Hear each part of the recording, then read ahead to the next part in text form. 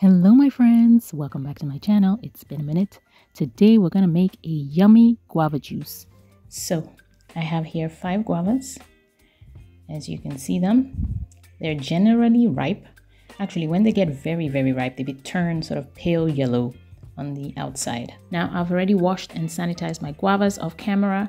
I'm now going to prep them. In doing that, I am going to peel off the skin, especially the parts that I don't want, and then I am going to chop them up. As you can see, my guavas are white fleshed guavas. Mm, you know what's so funny? When I lived in Addis, the common type of guavas you would find were the pink flesh guavas. However, at that time, I was always looking for the white flesh guavas because I thought they were more like sophisticated. But now here in Nigeria, the common type of guavas are the white flesh guavas.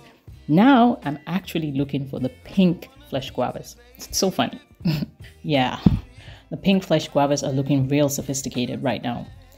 Anyway, guys, if you're new here, welcome to my channel. Welcome to Juice and Foods. I'm the Juice and Foodie. I make healthy juices, drinks, smoothies, and delicious food recipes. I upload videos every week. Please join the family, hit the subscribe button. Don't forget to also hit the notification bell so you're the first to know anytime I upload a new video. And to my ever present, lovely, loyal subscribers, thank you guys for always being here and watching my videos. You guys are the best. Now that's done, I'm going to put my chopped guavas in my blender. Then I'm going to add some water. You can also add coconut water. And you can also add some dates if you wish, but mine are pretty sweet, so I'm not going to be adding anything. I'm going to have it all natural. And then I'm going to blend. Now I almost forgot to add my lime juice. Thank God I didn't. So halfway through blending, I remembered and I'm going to squeeze in the juice of two limes. And it's very important you add your lime juice because it makes your guava juice pop you know, gives it that really nice taste.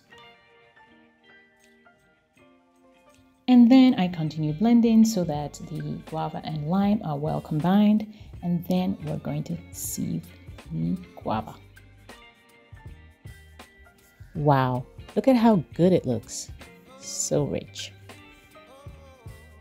It's also important to note the benefits of guavas. Aside from being delicious and tropical, guavas are called by some as the queen of all fruits because of their high level of medicinal value.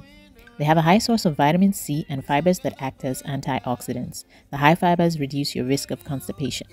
Also, guavas help with healthy bowel movements.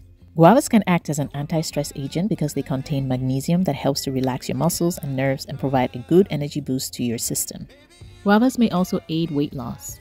Overall, guavas are a fantastic fruit. Now I finished sieving and you can see my guava juice is quite thick and very rich. So what I'm going to do is share my guava juice in half. One half I'm going to set aside and use in another recipe, so stay tuned for that. That's coming up. And the other half, this one, I am going to just dilute with a little bit of water. And voila! Our fantastic, yummy, and nourishing guava juice is ready. It was amazing, guys. Yum. So yum. Anyway, my friends, thanks for watching.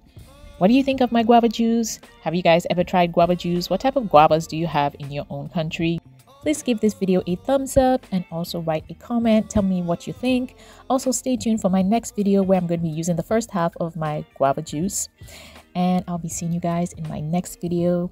Ciao, guys!